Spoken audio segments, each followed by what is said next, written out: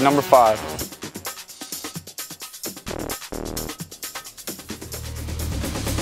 New York Giants, Rhett Bomar,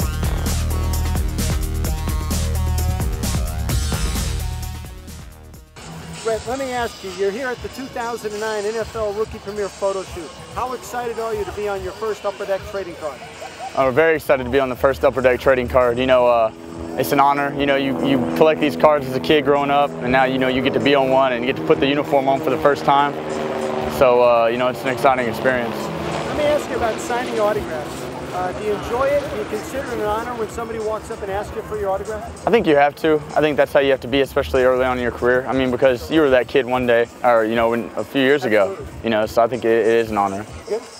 Have you signed anything unusual, and uh, body parts included? I actually have one time uh, a girl, you know, pulled down her shirt a little bit and made me sign it. So uh, that's probably the most un the unusual thing I've ever done. Do you do anything unique with your signature? Do you add the number five? Do you uh, spell out your full name? I don't really spell the full name. I add the number five. I think that's what a lot of guys do, so I just throw that in there.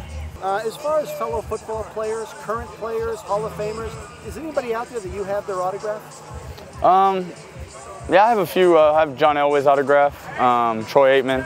You know, just being quarterbacks that I like growing up. You know, so I'll keep those around. Now, speaking of quarterbacks and uh, former players, who were your idols growing up? Who were the guys that you tried to emulate? My favorite guys were uh, John Elway and Brett Favre. That was my two guys growing up. Tried to play like them and you know be just like those guys. Hey, Brett might still be around. That's true. if there's a signature out there that you could get, whose would it be? And we can go across the board. It doesn't have to be football. Wow. Oh man, that's a tough one. Probably Michael Jordan.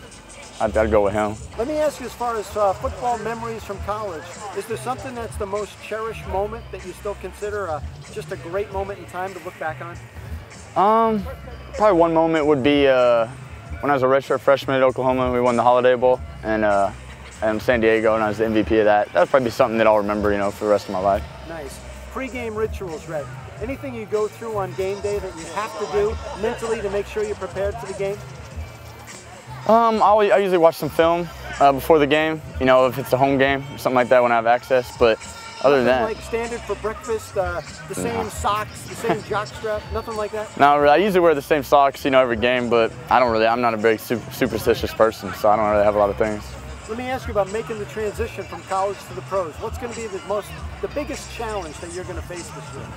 I think the biggest challenge is just, uh, you know, getting in the offense and, and learning. You know, it's a big jump from college to the NFL. You know, the mental side. The physical side, yeah, I mean, that's going to be a little jump too. You got to get used to that. But the mental side, I think, you just got to work on that the most. Last question. What makes you the most valuable rookie in this year's class?